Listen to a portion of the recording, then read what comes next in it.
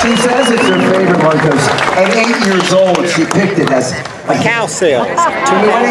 2019, Indiana State Fair. Here we got a song that we did. It's a TV theme song, and you didn't know it was. It is not.